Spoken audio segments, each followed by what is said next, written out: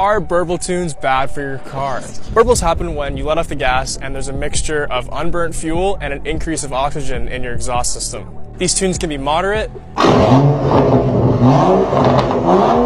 or aggressive.